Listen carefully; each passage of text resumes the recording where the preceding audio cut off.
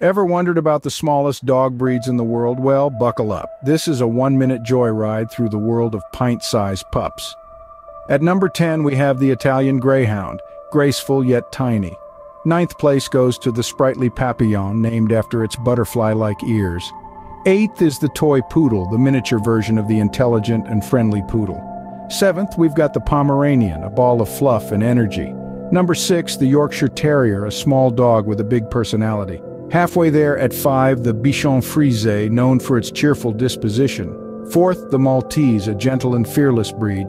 Third, we have the Chihuahua, a tiny dog with a huge personality. Runner-up, the Russian Toy, one of the smallest breeds in the world. And finally, the smallest dog breed ever recorded, the affectionate and playful teacup Pomeranian. There you have it, the top 10 smallest dog breeds.